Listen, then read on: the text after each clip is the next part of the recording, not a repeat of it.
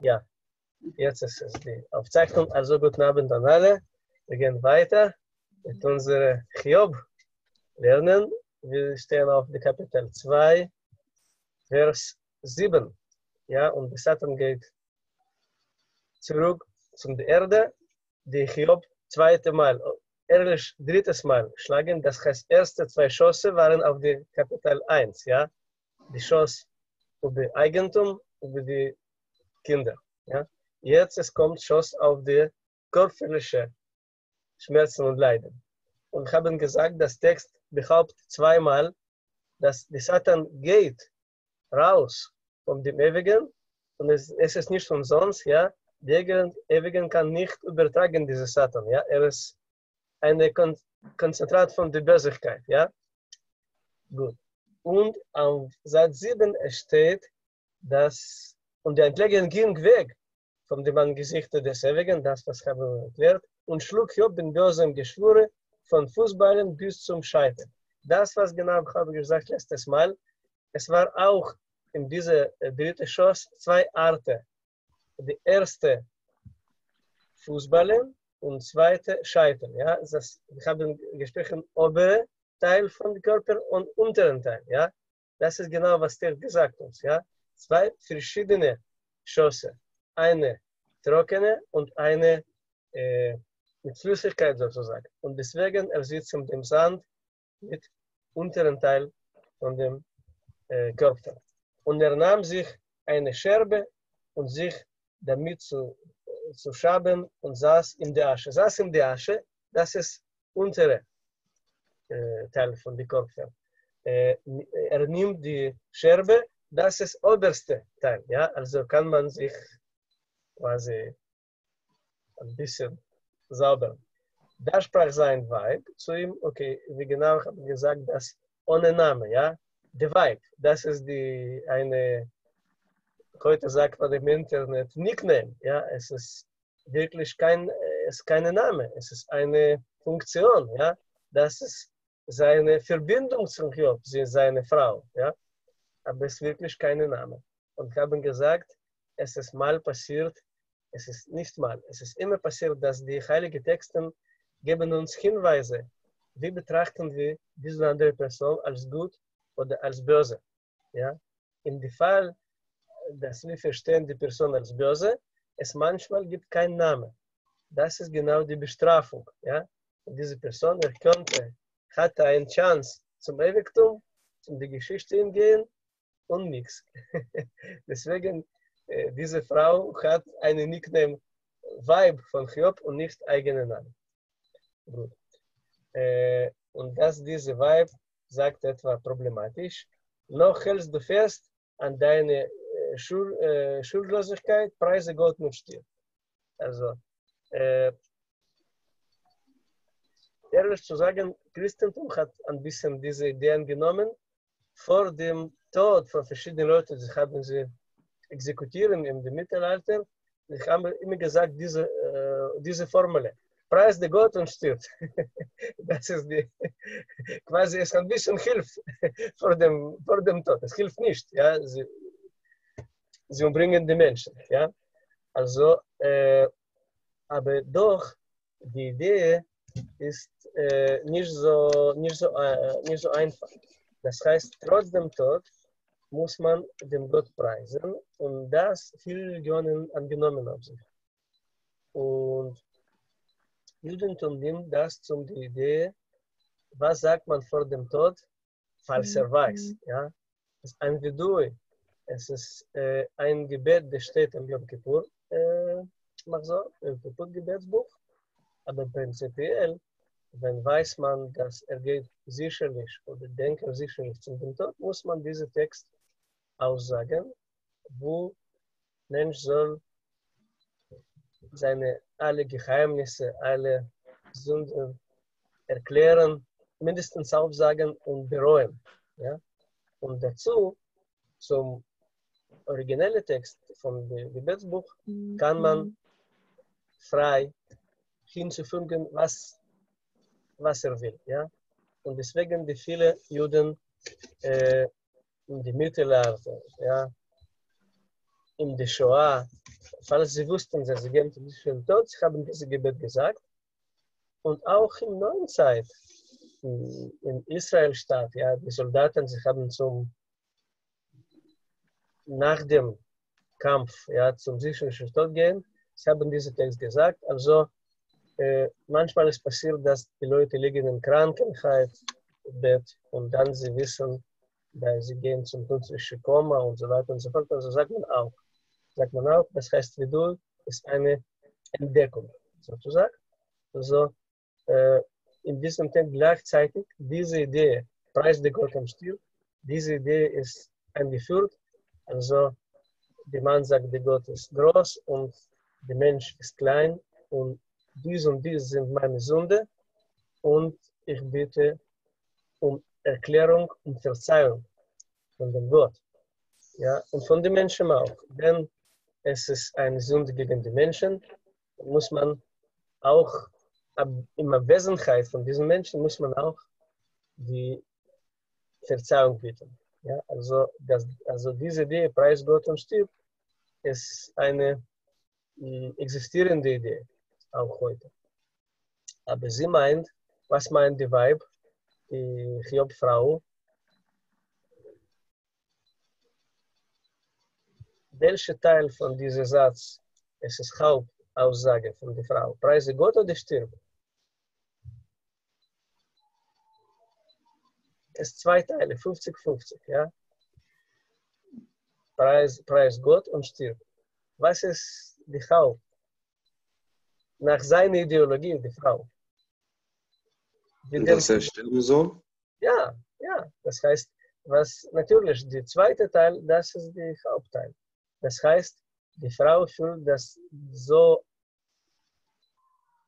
arme Leben, die jetzt Job hat, es belohnt sich nicht. Das kann man nicht so leben. Und deswegen ist es besser sterben. Ja? Also preis, preis der Gott äh, gewöhnlich, ja, aber muss man sich nicht kämpfen um Leben. Ja, der, auch die böse Leben. Ja, das heißt, die gute sterben nach der Weib, besser von böse Leben. Quasi. Die Hiob hat nicht verstanden mit dieser Idee. Er will kämpfen auf, auf seines Leben und deswegen er sich und auch auf seine Ideologie, seine Glauben. Und deswegen, äh, Vers 10, da sprach er äh, zu ihr, wie eine, die Niederträchtigen redet. So redest du. Das Gute wollen wir annehmen von Gott und das Böse wollen wir nicht annehmen. Also, wie gesagt, dass die Hiob hat vermutlich richtige Vorstellung von dem Gott. Ja? Das alles kommt von einzelnen Wurzeln und das ist die Gott, auf die Gute, auf die Böse. Ja? Und das ist genau, äh, äh, wie Prophet Jeremia sagt, wie bald, jetzt ist es Erev Rosh Chodesh Av, und am 9. Av, wir lesen dieses Buch von Jeremia, der Prophet, Eicha, die sogenannte äh, Klagelied von Jeremia. Und dort er sagt genau am Ende der ersten Kapitel genau diese Idee, dass die Gut kommt von dem Gott und die Böse nicht, eine rhetorische Frage. Das heißt, am ersten Tempelzerstörung, 5. oder 6. Jahrhundert vor dem Null, wie viele Juden hatten genau diese Idee von dieser Weib gesagt. Ja? Preis die Gott und sagt Tschüss. In welchem Sinn? Äh, der derjenige, der hat überlebt, die erste äh, Tempel, König Salomo Zerstörung, die viele Juden hatten gesagt, es ist nicht Gott, es ist eine böse Gott, ja, eine Antigott hat uns böse getan. Und deswegen, wenn so, dann brauchen wir keine solche Gott oder Antigott und wir gehen raus von Judentum. Es waren viele, viele Juden, die wurden schon im Exil, nicht schon in Israel, in Babylon. Und das hören wir, diese Idee von den Propheten, die sagen stark Nein. Ja? Das alles kommt von Gott auf die Böse. Und deswegen, wir bleiben die Juden. Ja? Wir sagen nicht zu zur jüdischen Religion, zur jüdischen Bevölkerung. Wir bleiben Juden. Trotzdem, die böse Dinge, das hatten wir uns erlebt. Ja, also das ist die klassische jüdische Antwort auf viele böse, das hatten wir uns erlebt. Und das gilt bis heute. Gilt bis heute. Erste Tempel zerstören, zweite Tempel zerstören, Inquisition, Verfolgungen, Shoah, alles die böse in neuen Zeit. Ja, also wir kämpfen um unser Leben in diesem Sinn äh, Job ist ein Vorbild, ja. Er ist nicht abgeben, ja. Er will weiterleben, er will, er will suchen die Wurzeln von, äh, nicht von der Börse. Er versteht das Börse, geschah mit ihm. Es will verstehen, wie die Gott führt seine Welt, ja. Es ist ein Verstanden auf Job, das kommt von Gott, ja. Es kommt von Gott und nicht von einer Antichrist, ich weiß nicht was, ja, eine Witzegott, ja. Also für ihn ist es völlig klar. Und dann er stellt weiter am, am dritten Kapitel, wie kann, da, wie kann das dem Gott Unschuldige äh, beschossen? Das ist sein Problem. Er fühlt sich unschuldig. Okay? Bei all dem, äh, bei, bei, bei all dem sündigte Job nicht mit seinen Lippen. Äh, passen Sie auf, was es wurde gesagt über Job am ersten Kapitel und am zweiten Kapitel. Ob es ist die gleiche Satz, ob es die gleiche Phrase, ob es die gleiche Idee. Vergleichen Sie. Bitte, jetzt. Also, wir vergleichen die Kapitel 1 der letzte Satz von Kapitel 3, 22, 1, 22 und 2,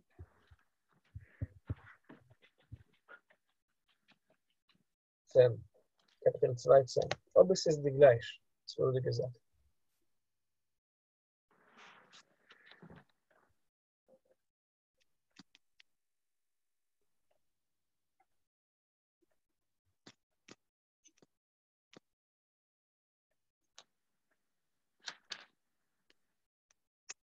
Ähm, nein, ist nicht der gleiche Satz. In Kapitel 2 steht nämlich, bei allem sündigte Hiob nicht mit seinem Mund. Und beim Kapitel 1 steht, ähm, und Hiob tat nichts Törichtes. Okay, genau. Also die klassische, klassische Methode zum Heilige Schriften verstehen und analysieren ist eine Vergleichung. Ja? Also vergleicht man quasi die gleichen Stellen, quasi die gleichen Texte und dann findet man das kein gleich überhaupt. Ja? Das heißt, äh, zum Beispiel sieht man einen Traum, äh, Pharaon in der Torah und dann er redet über diesen Traum zum Josef. Es ist nicht die gleiche. Ja? Die Prophet redet über die eine Prophezeiung, das kommt bald, ja, und wie Leute verstehen diese Prophezeiung. Sie verstehen das nicht 100% gleich. Und genau hier, genau, also, wenn wir finden solche, solchen Unterschied zwischen zwei ähnliche, aber nicht völlig in 100% gleiche Texten, dort liegt der Schlüssel, was es passiert.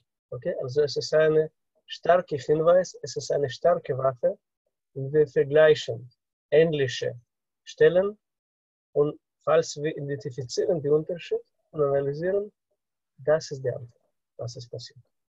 Also, am letzten Satz, ersten Kapitel, steht, dass überhaupt Job hat nicht gesündigt, richtig? Ja. Also, seinem Herzen, seinem Kopf und seinem Mund ist völlig gleich. Richtig? So ist die, so ist die Konsequenz aber es ist nicht so im zweiten Kapitel. Im zweiten Kapitel steht, mit diesem All, Job hat mit seinem Leben nicht, ges nicht gesündigt. Das heißt, seinem Herzen und seinem Mund sind nicht gleich. Ja? Also, das unsere Weisen schon identifizieren können, das Text sagt das direkt. Das heißt, wir wissen uns drei unterschiedliche Stufen. Der Mann denkt, also sagen wir Herzen oder Kopf, Emotionen oder kalte Logik, ja. Es ist auch ein Unterschied zwischen Emotionen und Herz und eine kalte Kopf. Aber sagen wir das ist zusammen, ja. Also eine innere Denken, das ist das erste Niveau. Zweite Stufe, das ist Aussagen. Und die dritte Stufe, was ist wird gemacht, ja, was ist geschah im materielle Welt, ja. Also wie kann man übersetzen sein Denken, Aussagen und Machen, ja. In kommunistischen Zeiten, ich noch erinnere mich als kleines Kind, es war ein Witz, ein trauriger Witz, dass in kommunistischen Zeiten die Leute denken etwa, etwa eins auf dem Herzen, Aussagen etwa zwei und tun etwa drei. das war die kommunistische Realität. Auch im DDR, im Ostdeutschland, was, was gleiche Realität. Also das ist genau dieser Witz, äh, der ein bisschen traurige Witz, hat genau begriffen diese drei unterschiedliche Niveaus. Ja? Denken, sagen und machen. Ja? Und ideals, in ideale Welt, diese drei Niveaus sind gleich. Ja? Das heißt, unsere Idee von dem Torah, die Heilige Schrift für Religionen, auch für andere Religionen und philosophische Themen, nicht nur Judentum. Ja? Der soll mein ehrlich und gleich 100% sein zwischen sein Denken, Aussagen und Schaffen. Ja? Also das ist unser Ideal. Und das ist schwer. Das ist schwer. Es ist schwer, weil unsere menschliche Natur hat immer die Ecken, die Erklärungen Warum habe ich etwa gedacht, anderes gesagt und noch etwa getan? Und deswegen Talmud sagt, dass die ehrliche Weise, äh, ehrlich richtige Mensch, alles, was er hat, was es mit seinem Herzen beschlossen, er tut. Talmud bringt die Idee und Geschichte mit äh, einer materiellen Welt. Eine Weise kommt, eine Weise von Talmud kommt zu jemand, etwa einzukaufen. Er hat sich gesagt, ich zahle über diese Isel und diese und diese, so Maschine nur genau bezahlt. Und es war wichtigste billige. Und er, äh, er konnte quasi gewinnen, dieses Geld, ja. Aber er sagt, nein, ich bezahle genau, was würde ich bereit schon auf meinem Herzen bezahlen, ja. Und natürlich, die Verkäufer wusste nicht. Ja? Er sagt den Preis, aber die ehrliche, richtige Weise, ja, was alles hat er mit, mit sich selbst. Niemand weiß, nur die Gott und er. Ja? Auf seinem Herz, was hat er, würde bereit schon bezahlen, er bezahlt. Das ist ein klassisches Beispiel, dass die Menschen sind ehrlich und gleich mit seinem Herzen liebten und unsere Welt zu tun. Zu tun ja? Also, das ist natürlich klar, dass Hiob hat etwa gedacht. Das heißt, der Text erweitert, im drittes Kapitel und weiter, dass doch Hiob hat gesündet im, in den Kopf. Ja? Also, er hat etwa problematische gedacht über den Gott, über die Führung in unserer Welt, ja. Aber doch, er hat das nur gedacht. Nicht auf die Lippen. Und jetzt ist es die Frage, was fragen wir uns, auf welche Kriterien die Gott richtet die Menschen? Was machen sie oder was denken sie?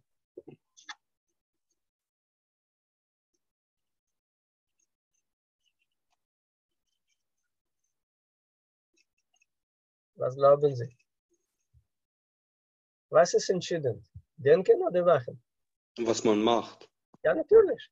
Die klassische Judentum äh, sagt ein Million Mal, dass es, der Mensch ist nicht bestraft bei seinem Denken. Ja?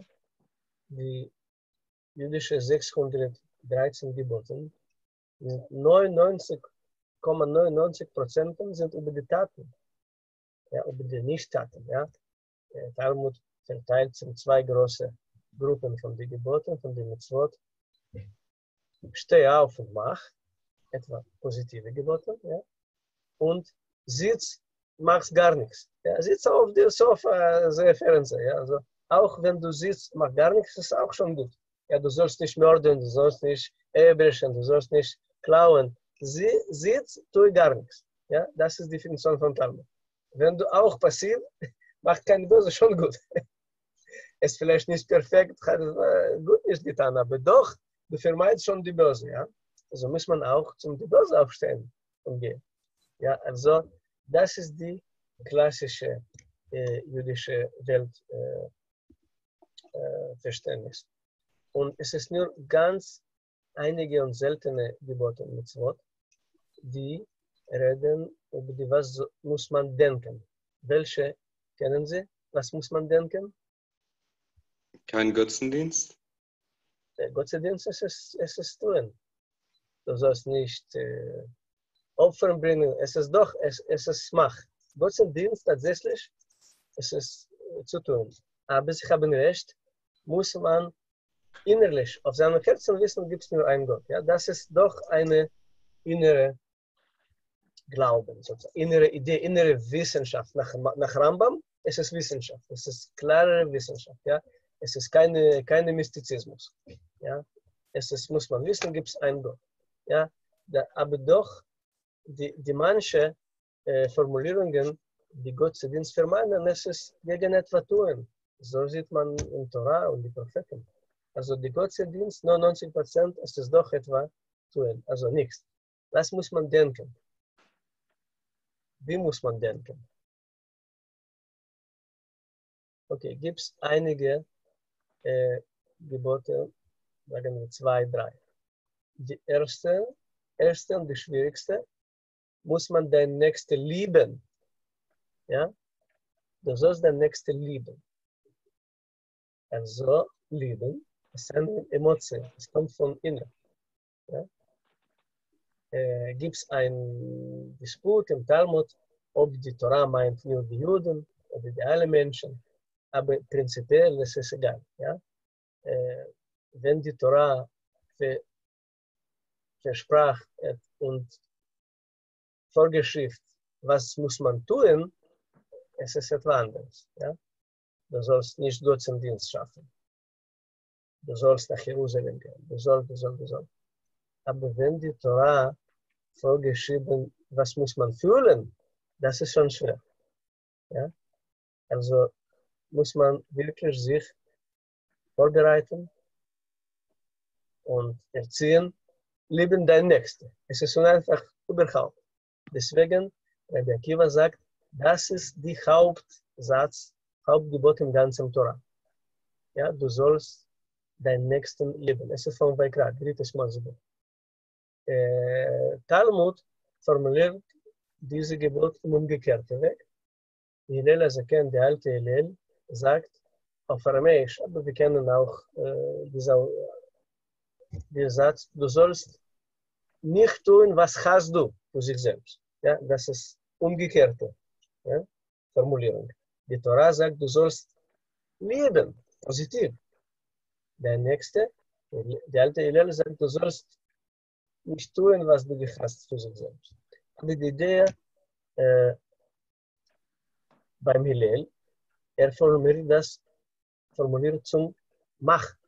Ja? Oder mach nichts. Du sollst nicht machen, was hast du. Das ist einfach. Wie es Torah formuliert und Rebbe Akiva versteht, das ist schwieriger. Du sollst dein Nächste lieben. Lieben. Okay, das ist die eine. Äh, und etwa ähnlich im Torah steht, du sollst der die Proselyten lieben. Also auch lieben von den Kerzen, von ihnen. Ja, jemand, der war nicht Jude und ein Jude bekommt. Es ist auch schwer, weil es ist ein Vorschritt zum, was soll ich fühlen? Nicht, was soll ich tun, was soll ich fühlen? Ja? Also diese zwei, äh, mit so zwei Geboten genau bemühen, wie muss man denken? Wie muss man fühlen sich? Ja? Und das ist Ausnahme. Denn regelmäßig und gewöhnlich, mhm. die Torah und die ganze Judentum bemüht sich, was muss man machen. Oder du sollst nicht tun zum dein Nächsten, was heißt du sich selbst und so weiter. Ja? Also, normalerweise würde die Menschen beschätzt und bestraft und belohnt von dem Gott über seine Taten. Und jetzt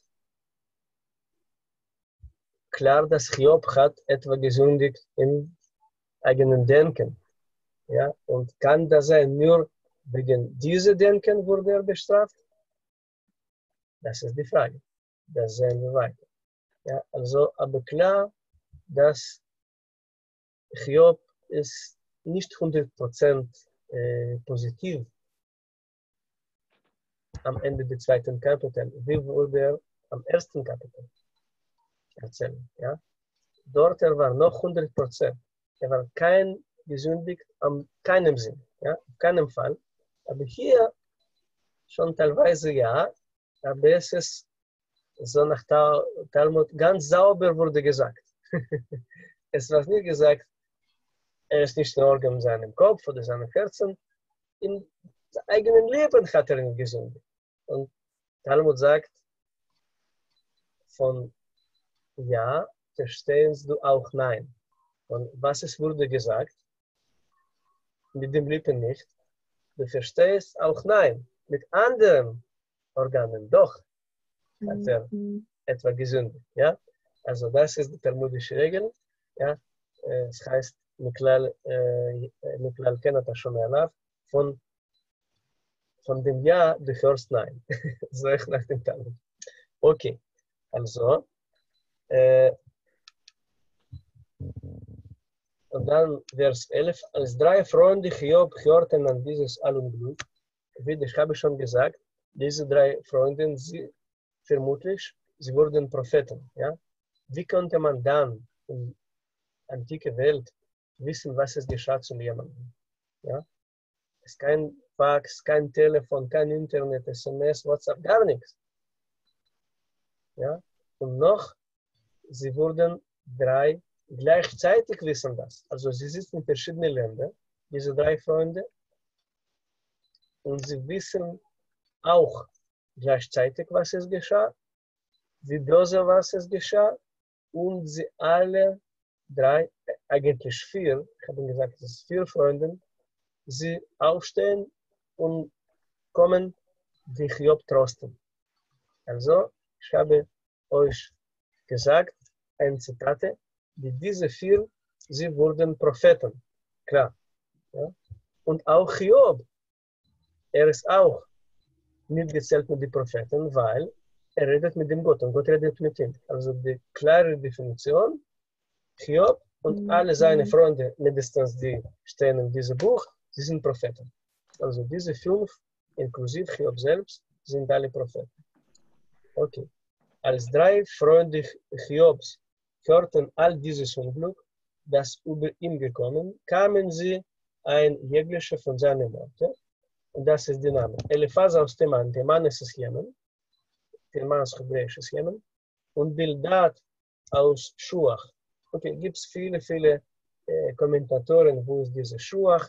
Schuach ist auch ein Name, die kennen sie, äh, kennen wir uns vom der Torah, der ersten Buch, also ist irgendwie im Irak. Und Zufar aus Naaman, äh, es ist auch, es ist Norden Syrien heute, also diese drei, mhm. und verabredete, verbeten sich zusammen, also sie treffen sich zusammen, nicht zu viel, ja, hinzugehen, ihm zu bemitleiden und ihm zu trösten. Ja, also sie kommen und treffen sich zusammen vor Hiob Hausbesuch und sie beschlossen, zusammen gehen, hinzugehen und zu bemitleiden. Also von dieser Tat Judentum lernt, wie umgeht man mit jemand, der in Trauer befindet sich. Jemand, der hat verlieren. Jemand, ja? Also die, die sogenannte Chotzmachot, äh, Gesetze vom Traurigen, ja, die Talmud lernt von diesem Buch. Okay? Äh, ein bisschen, wir lernen von Abraham, der hat seine Frau Sarah beerdigt, ja, im Torah, im ersten Torah-Buch. Das heißt, das muss man schnell wie möglich beerdigen. Ja, muss man in Trauer befinden sich, muss man weinen und so weiter. Aber präzise, im Torah steht kurz. Aber präzise Gesetze, sie stehen hier in diesem Buch. Ja? Also, da haben sie ihre Augen auf von Ferne und erkannten ihn nicht. Also, er ist völlig anderer Mensch, auch geistlich, auch physisch. Und sie erhoben ihre Stimme und weinten. Und sie zerrissen ein jegliches sein Oberkleid. Das ist, wissen Sie, was es was genau zerrissen Oberkleid? Die Talmud äh, versteht, dass es ist eine Pflicht für jemand, der verliert eine enge, äh, enge Familienmitglied. Das heißt, nach dem Talmud gibt es äh, acht Verwandte acht Verwandte nach dem Talmud, acht engste Verwandte. Das heißt, Mann, Frau, äh, nein, Vater, Mutter, mein, Frau, Sohn, Tochter, Bruder, Schwester. Okay? Das ist die acht engste Verwandte. Okay? Also diese, das ist die engste Verwandte. Zum Beispiel die Opa und die Enkel, es ist natürlich auch Verwandte, aber nicht engste.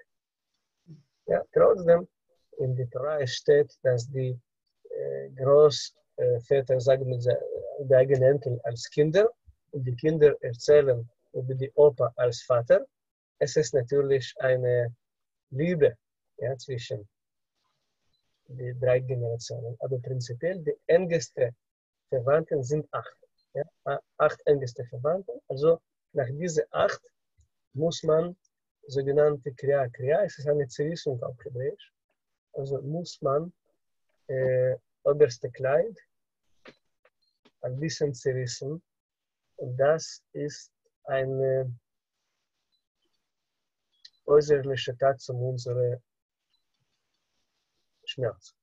Äh, Talmud definiert das als Herzenschmerz, Herzenschmerzen. Und deswegen, wenn jemand verliert von acht engste Verwandte, muss man am Ende der Beerdigung muss man, äh, ist die Herzen?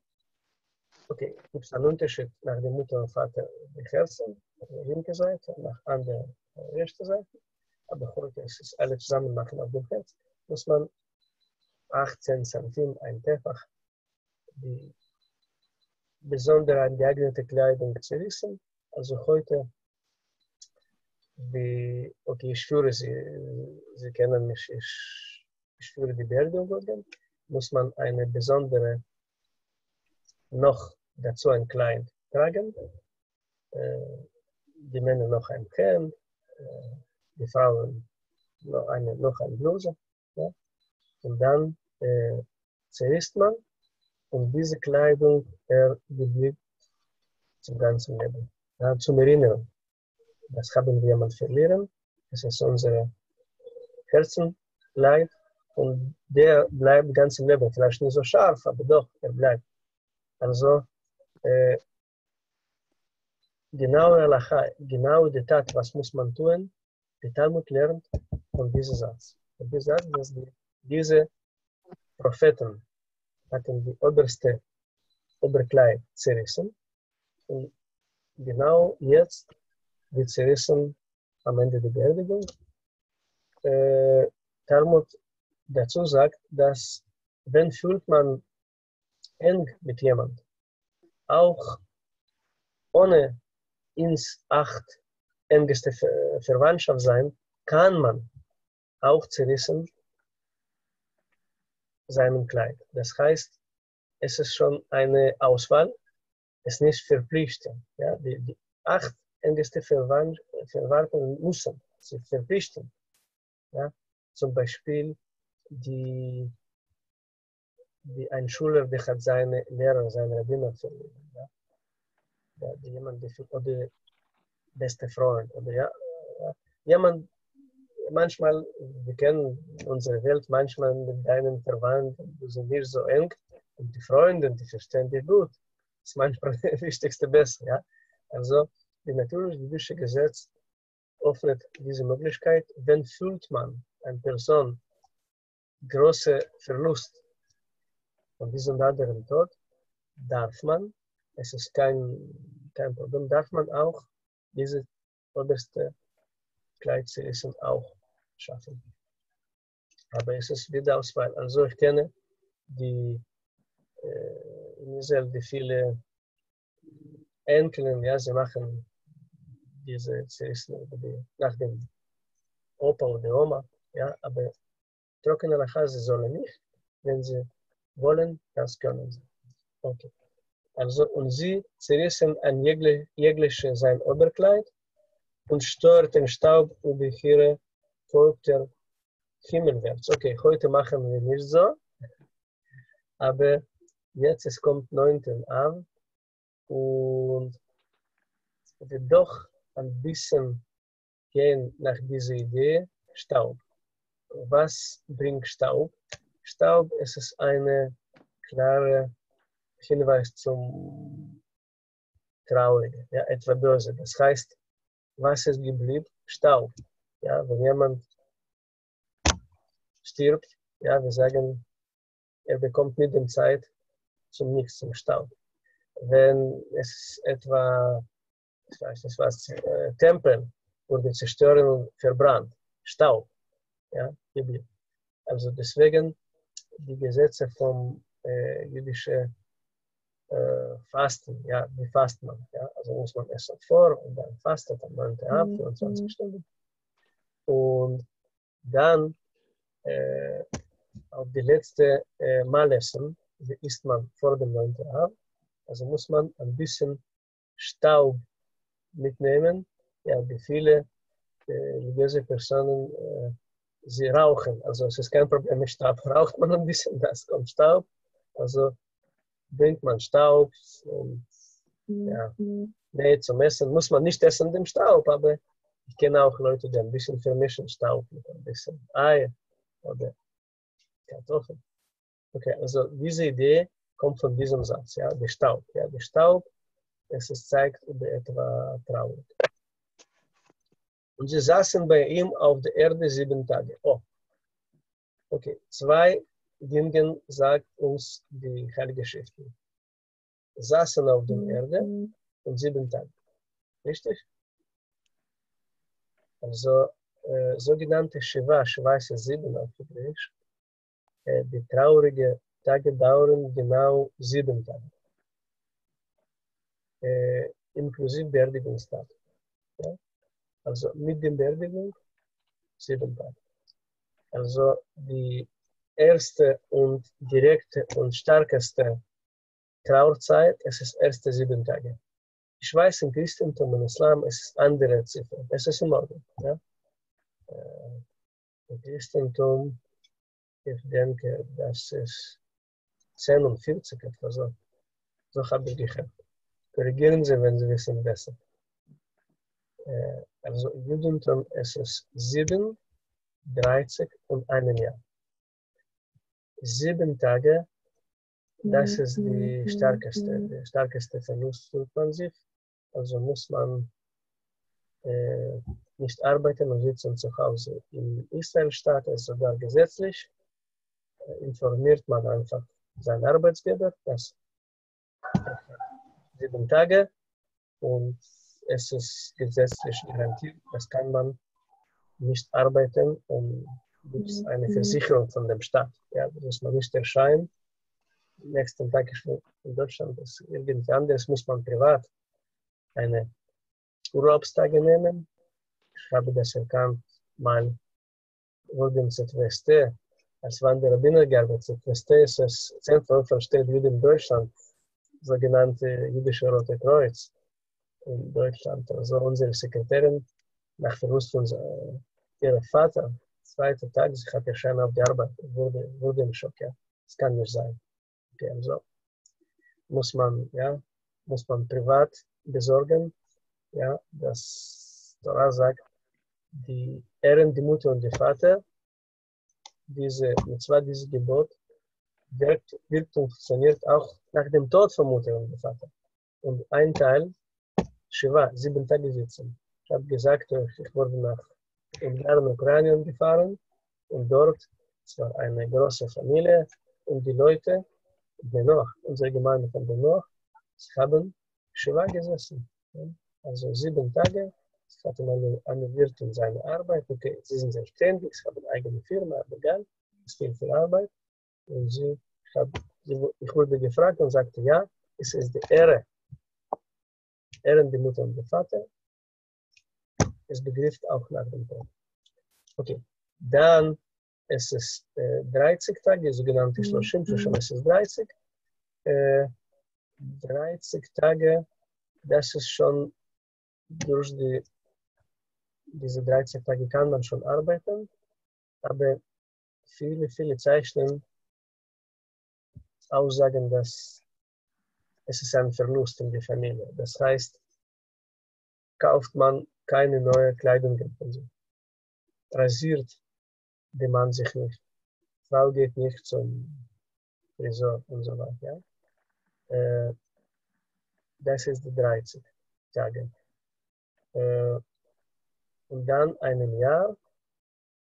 Durch dieses Jahr muss man eine, mhm. äh, eine Matzeva, eine Stein einrichten auf dem Beerdigungsplatz, wo die Verstorbene liegt. Also gibt es verschiedene Traditionen. Wann muss man dies schaffen? In Israel ist es relativ schnell, es ist schon 30 Tage, in Deutschland ist es ein Jahr. Also in Deutschland gibt es eine andere Tradition, auch wegen physischer äh, Umwelt, ja, um Klima. Das heißt, äh, in Deutschland muss man nehmen in Rechnung, dass die Erde geht runter. Mhm. Ja, das nimmt Zeit. Also es kann zerstören wie diese, diese Stein. Ja? Also deswegen warten wir ein bisschen. Ein Rund, ja, ein Jahr. Manchmal ist es möglich im Winter. Es ist ganz, ganz schwer. Ja?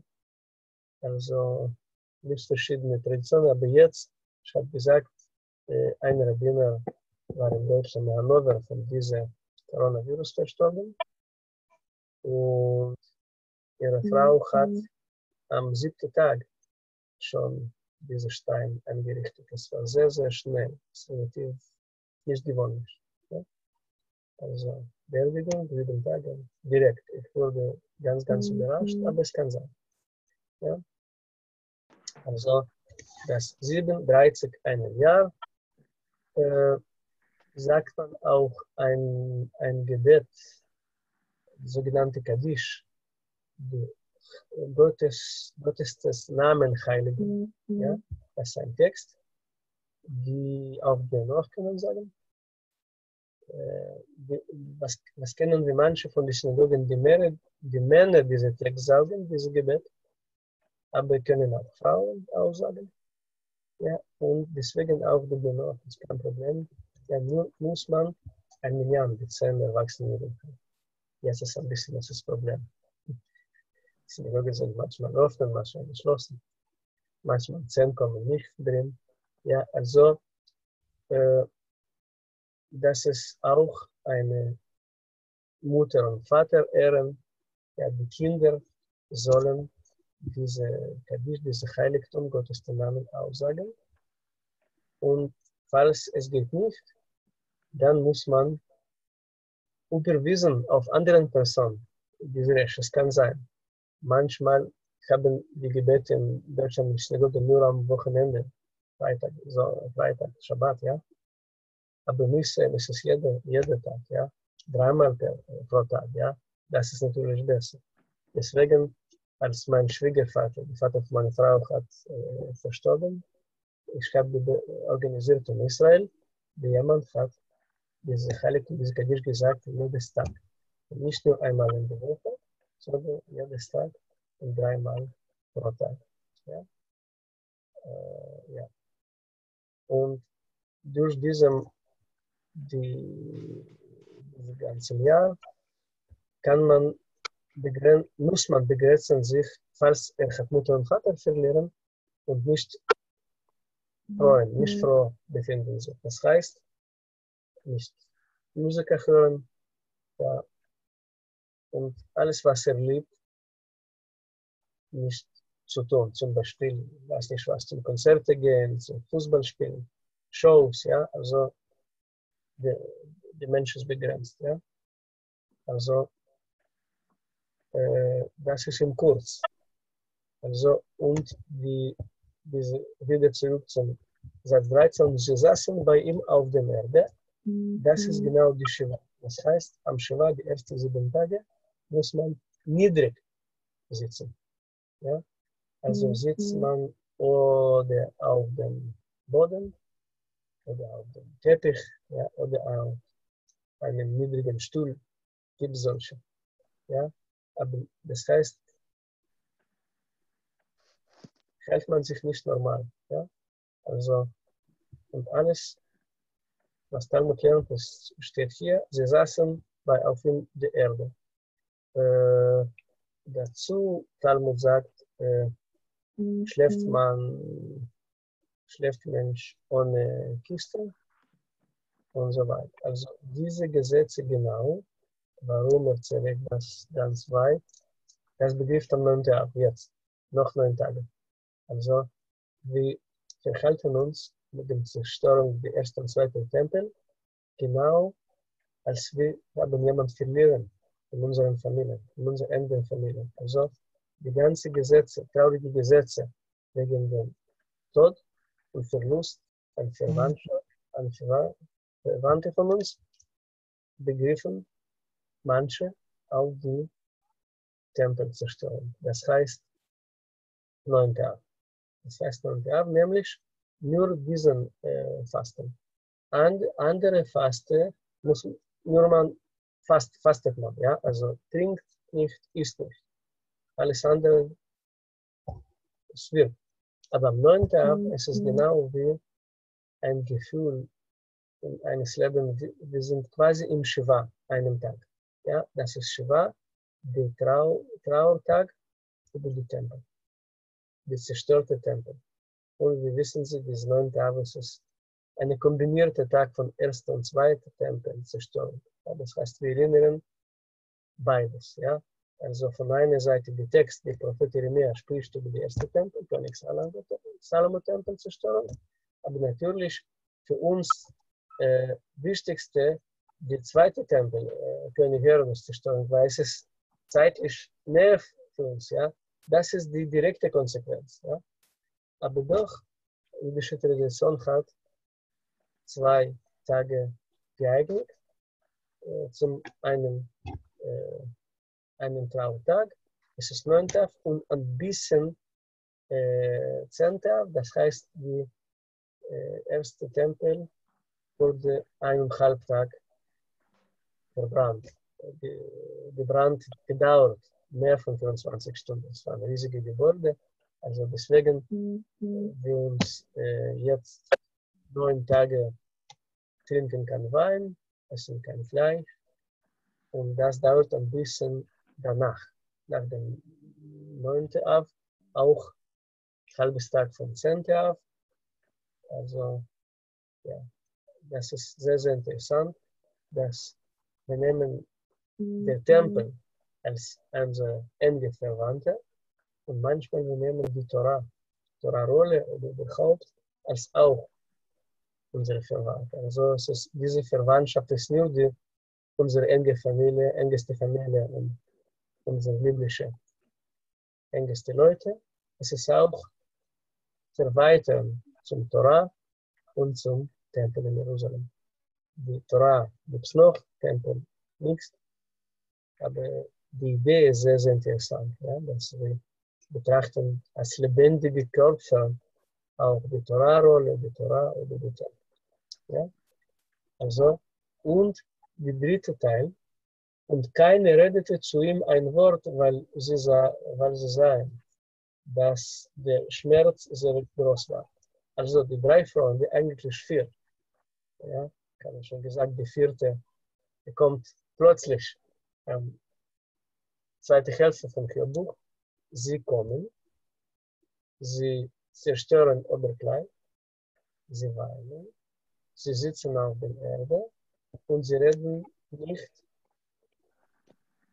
bis wann, bis der Trauernde, ja, die Person, die hat Schmerz, er öffnet seinen Mund. Also dieses Gesetz wird bis heute begriffen und gilt, wenn wir kommen, trösten jemanden. Ja? Es war zwei Jahre vor, war ein Rabbiner in Deutschland und wurde bedeckt die sogenannte deutsche Koscherliste. Er hat geschafft das, noch im 18. Ja? Er ist sein, noch sein Vater, war in Düsseldorf, in Hannover, nach dem Krieg in 50er. Er war der Erste, der hat gesammelt eine Liste, was ist koscher in Deutschland, mhm. im Allgemeingeschäft, ja? nicht im Koschergeschäft. Ja? Also, er heißt Rabbi Gott, hat verstorben, zwar so, haben geflogen nach Israel, hat verstorben plötzlich. Und ja, du kommst und du sitzt mhm. auf dem Teppich und du redest nicht, bis die Familie, die Frau, sie startet mit dich reden. So ist die Gesetz. Also, alles, was steht hier, ist es gilt. Es ist interessant. Es ist nicht nur die philosophische Ideen, es ist manchmal auch direkte Halacha, direkte Verhalten. Wie macht man? Ja? Also in diesem Sinn, für Buch, ja, es ist ein bisschen ein, ein Führer zum Trauernden, sozusagen. Ja, okay. Jetzt, es ist Kapitel 3 und wie ab Kapitel 3 die, schon die Freunde reden mit Hiob. Ja, Kapitel 3, 4 und so weiter. Und dann, wir kommen zurück zu unserem Rambam. Rambam äh, macht das kurz. Es ist äh, Kapitel 22 und 23 wo Rambam erklärt, was ist die Ideologie und Philosophie, die alle Freunde und führen. Und das sozusagen abkürzen uns, weil es ist ganz, ganz schwer von dem Text zu verstehen, was denken diese Leute über dies, diese Gerecht, Gottsgerechtigkeit. Ja? Also das ist, das ist, Moment. Ja, das ist dritte Teil von Anführer. Drittes Teil, ja, dritte Buch. Kapitel äh, 22 und 23. Ja? Also Wenzelweg wird so nett, sie schickt uns diese, äh, ja, diese Text, also Kapitel 22 und 23 von drittes Teil. Und dann wir verstehen, was ist die Glauben von allen Beteiligten. Diese fünf Propheten, vier Freunde und Gott selbst, was denken sie über die, über die Gott und dieser Satan, welchen Platz hat er? Und der Gott ist der Bescheid. Okay?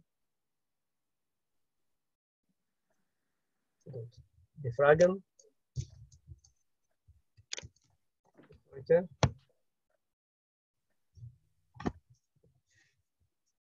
Keine Fragen? Gut, gut. Dann weg, bitte schicken Sie uns äh, die nächste Woche diese zwei Kapitel, die Vorlesung und Lesen zusammen. Ja, und dann wir hoffentlich, ja, ich denke, es ist nicht genug einem Unterricht, zwei Unterrichte.